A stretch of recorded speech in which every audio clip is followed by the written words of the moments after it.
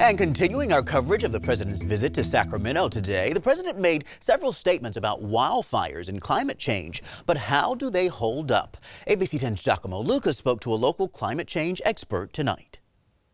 President Trump renewed his stance Monday that California's wildfire crisis is due to the mismanagement of California's forests and not connected to climate change.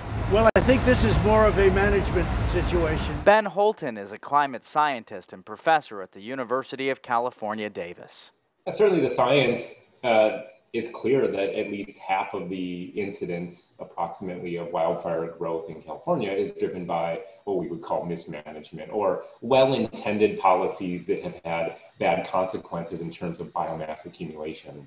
So there is uh, some truth to that statement.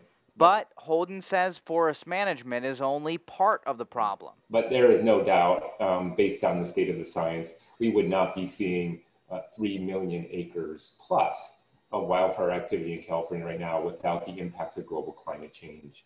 The president later disputed these climate change claims during an exchange with California's Secretary for Natural Resources, Wade Crowfoot. If we, if we ignore that science and sort of put our head in the sand and think it's all about vegetation management, we're not going to succeed together protecting Californians. Okay.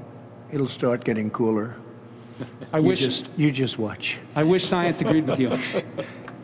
Hey, well, I don't think science knows, actually. According to NASA, 97% of the world's climate scientists are at consensus that Earth's climate warming trends are extremely likely due to human activity over the last century.